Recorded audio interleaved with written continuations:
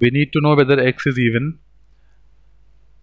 These two add up to even. So that means either both are even even plus even or both are odd. In this case we get yes as an answer. In this case we get no as an answer. So statement 1 is not sufficient. Statement 2 says 10x plus 7y is odd. 10x has to be even. Therefore 7y has to be odd. If 7y is odd y is odd. This tells that y is odd but the question is about x so statement 2 is also not sufficient on combining, we know that either both are even or both are odd.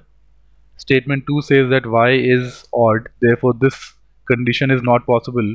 It has to be this condition and therefore combining works. We get answer as no, x is not even and to reach here we used both the statements. The right answer is option C.